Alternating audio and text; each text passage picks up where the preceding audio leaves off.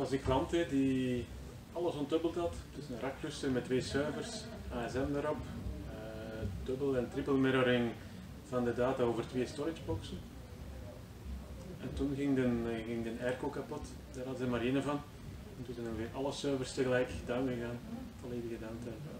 Geen DR, geen data gehoord. Echt kapot